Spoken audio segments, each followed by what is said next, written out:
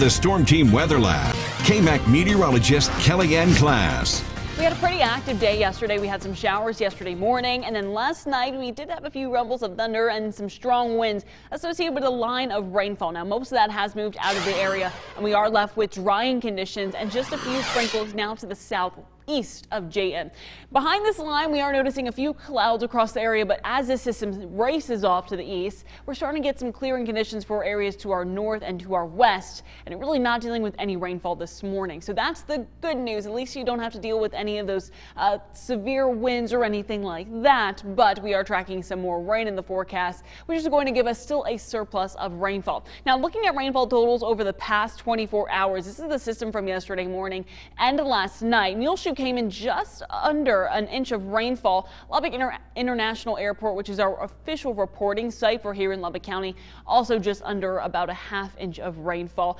And we are still noticing some more on the way. And already for the month of March, about eight days in, we are at a surplus of almost three quarters of an inch of rainfall. So that's the good news. We are in a surplus and we are still going to be expecting more rain on the way. For now, though, dry conditions, a few clouds across the area from our Overton Live sky view. The moon is slowly beginning to set. We will be under a mix of sun and clouds by later on today. And over tomorrow as well will remain dry. Can't rule out a few isolated showers by about Wednesday. Most of us on Wednesday will remain dry with a mix of sun and clouds. Our better chance for rain, though, will come on Thursday night and early Friday morning. Starts from the southwest, slowly moves up to the north, and then we'll be dealing with a little bit more rainfall by about Friday afternoon. A few scattered showers, but then by Friday evening, it becomes a little bit more widespread. Now, don't be surprised if you do hear a few rumbles of thunder or even see some lightning. We are going to be watching the potential for a few thunderstorms on Friday, but thankfully we're not watching any severe weather. So that is the good news, but we are heading into severe weather season, which means you need to start staying weather aware. We dry out by Saturday and then we'll be left with dry conditions for the weekend.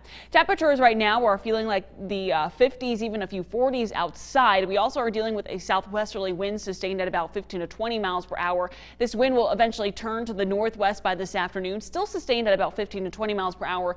Temperatures will eventually rise up into the mid 70s. This is about 10 degrees above our average with a mix of sun and clouds, and we'll continue these warmer conditions over the next few days. Tomorrow, another above average day, temperatures into the mid 70s. We get up into the 80s by Wednesday. Can't rule out few isolated showers on Wednesday afternoon, but that better chance for rain, rainfall comes Thursday, but more so Friday at about 30%. Also can't rule out a few isolated storms possible. 74 by Thursday, dropping into the mid 50s by Friday, back up into the mid 60s by Saturday with a few lingering showers by the morning.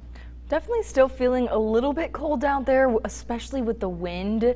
And whenever it picks up, I'm like, okay, I need at least two jackets on. Oh, you are not, I don't even know. You're not from this area. no, I'm ready to just go short sleeves not. outside right now. Really? But I, but I brought a jacket, you know. I mean, I don't know. Maybe later on in the day. I don't know. I think I'm just so used to the 30s. I'm like, oh man, this 50s, it's great. No, it is, it is way better. I have to agree.